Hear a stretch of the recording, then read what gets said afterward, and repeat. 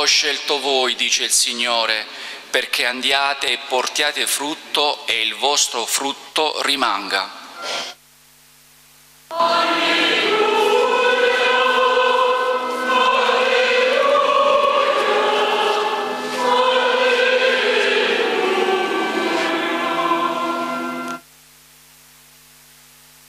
Il Signore sia con voi. e con il tuo spirito. Dal Vangelo secondo Giovanni. Gloria a te, o Signore. In quel tempo Gesù disse ai suoi discepoli, come il Padre ha amato me, anche io ho amato voi. Rimanete nel mio amore. Se osserverete i miei comandamenti, rimarrete nel mio amore, come io ho osservato i comandamenti del Padre mio e rimango nel suo amore. Vi ho detto queste cose perché la mia gioia sia in voi e la vostra gioia sia piena. Questo è il mio comandamento, che vi amate gli uni gli altri come io ho amato voi. Nessuno ha un amore più grande di questo, dare la sua vita per i propri amici. Voi siete miei amici se fate ciò che io vi comando. Non vi chiamo più servi, perché il servo non sa quello che fa il suo padrone, ma vi ho chiamato amici, perché tutto ciò che ho udito dal Padre mio l'ho fatto conoscere a voi. Non voi avete scelto me, ma io ho scelto voi e vi ho costituiti perché andiate e portiate frutto e il vostro frutto rimanga, perché tutto quello che chiederete al Padre nel mio nome ve lo conceda. Questo vi comando, che vi amate gli uni gli altri.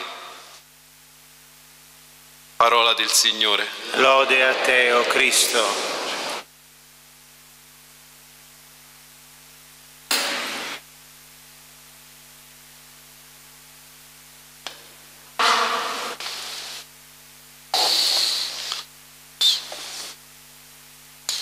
il comandamento di Dio, l'amore di Dio e la gioia di Dio. Questo è l'equipaggiamento che ci viene offerto questa mattina dalle letture. San Giovanni ci eleva, ci eleva, e l'Apostolo e l'Evangelista Aquila vola ci porta su verso la verità assoluta che è Dio. Ci ricorda che Dio ha scelto noi e non viceversa. Non è che noi abbiamo scelto Dio e allora ci ritroviamo in Dio. No, Dio ha scelto noi se noi corrispondiamo, rimaniamo fedeli a questa vocazione, allora anche noi saremo portati fuori dalla malizia del mondo e fuori dalla perdizione, che il mondo vive nella perdizione, come Giuda. Giuda era uno dei dodici, era stato con loro sempre. Gesù non gli ha tolto niente, non lo ha mai punito, soltanto che sapeva che cosa c'aveva nel cuore Giuda. Non era certo né il desiderio di obbedire a Gesù, non era l'amore verso Gesù e quindi dentro portava la morte, la tristezza e la morte.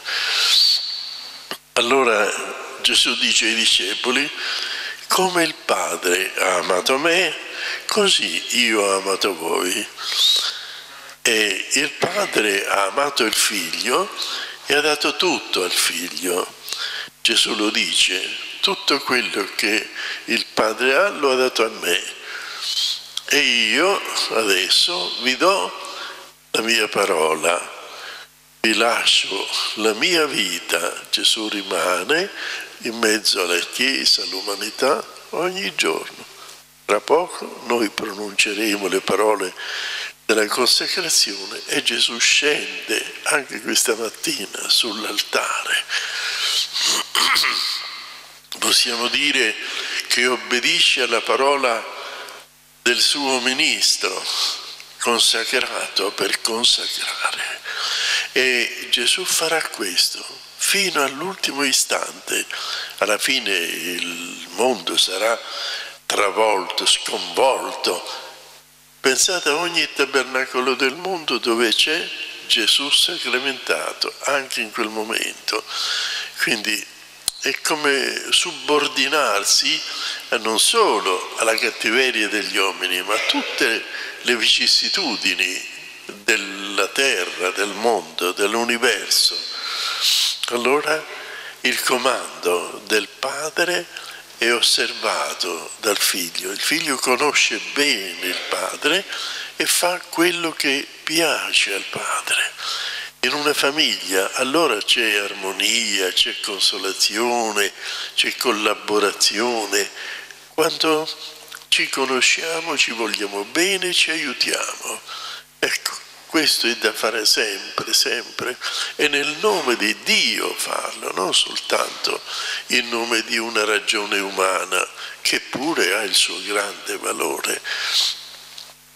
Questo comando è ogni parola che è scritta nella Bibbia, soprattutto nel Nuovo Testamento, perché tutto quello che è scritto, dice Gesù, si dovrà adempiere. Non ha detto una parola inutile Dio, né per mezzo dei profeti e né Gesù stesso. Allora, da questa obbedienza alla volontà di Dio, noi cominciamo a sentire che è bello così, perché l'amore di Dio è la ragione di vita Domandate a un ragazzo perché vive, o non lo sa rispondere, oppure perché vi dice che lui vuole fare tante cose belle. Ecco allora, vuoi bene a tua mamma e a tuo papà? Sì. Vuoi obbedire quanto ti chiedono, ti comandano, ti consigliano? Sì, perché quel ragazzo già ha concepito questo sentimento così bello, è libero, non è chiuso, si apre, ascolta, è gioioso, è solare. Questo è il significato della parola amore verso Dio e verso il prossimo. E la gioia è conseguente. Quando un'anima è in grazia di Dio non può essere triste.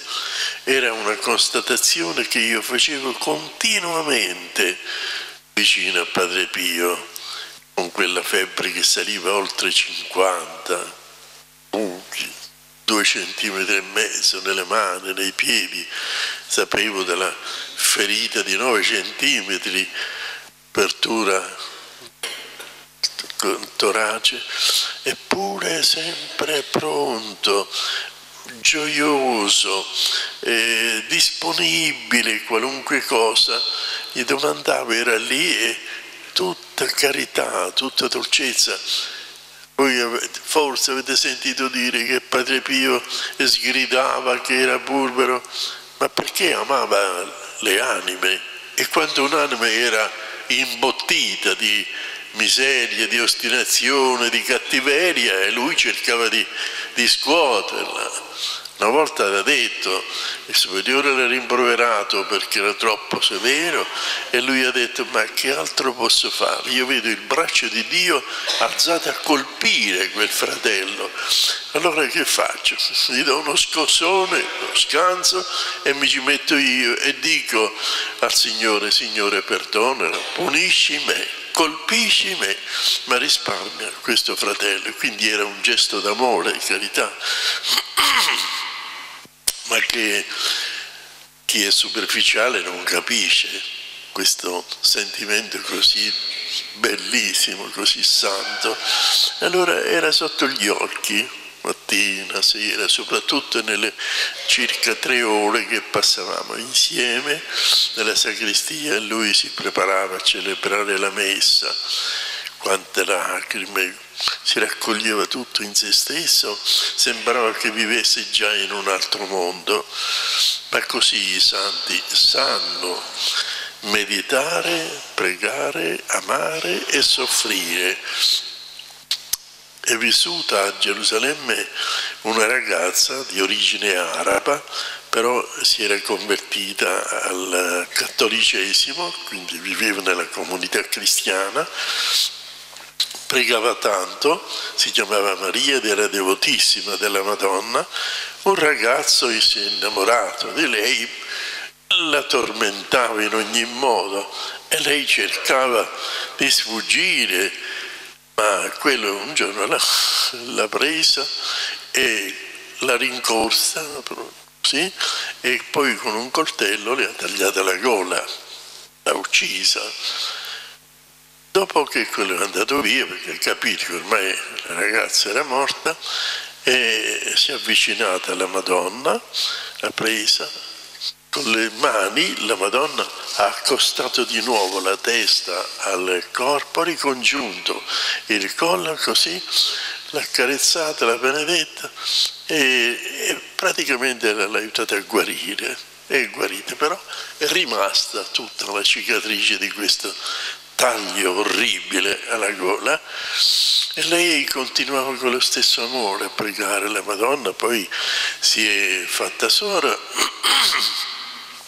era così obbediente, umile, disponibile, che se stava a pregare e stava in estasi, quindi non si rendeva conto, poteva percepire le cose che accadevano intorno, e la superiore diceva vai a prendere l'acqua, vai. Lei continuando a rimanere in contemplazione, quindi a parlare col Signore, con la Madonna, faceva quelle, sbrigava quelle faccende che comandavano. Quindi nello stesso tempo contemplava Dio e obbediva alla volontà dei, dei superiori. Questa è la sua vita fino alla fine. A volte ormai i carismi, le, le, le, le cose straordinarie che viveva, e tutti lo sapevano, come una farfalla. Si sollevava da terra e si andava a posare su un ramo di un albero e continuava a cantare in una lingua angelica. E quindi si vedeva questa creatura come una farfalla proprio che era quasi diventata incorporea, solo anima ed è oggi santa. Ecco il Signore fa, fa queste cose perché trova l'amore, la Madonna si è presa cura di questa creatura proprio come di una figlia, addirittura ha voluto che ancora continuasse a vivere perché? Perché l'esempio di questa creatura eh, rimane impressa. Io adesso ve l'ho detto in due parole, ma c'è la biografia, è così evidente che è passata a Dio dove è passata lei Chiediamo alla Madonna di non abbandonarci mai e tantomeno quando ho il dolore o la sofferenza o l'angustia o il timore di cose, di eventi terribili si abbattono su di noi. Maria è sempre con noi. Eleviamo a Dio la nostra preghiera. Diciamo insieme, ascoltaci. San Mattia Veloci sono trascorsi i santi giorni, da Pasqua all'Ascensione, e son quaranta. Con la presenza viva del Signore non si notava il vuoto d'un apostolo. In verità richiusa è la ferita. Il prevaricatore è andato via. Lo ha condotto Satana al suicidio e lo ha trascinato a perdizione.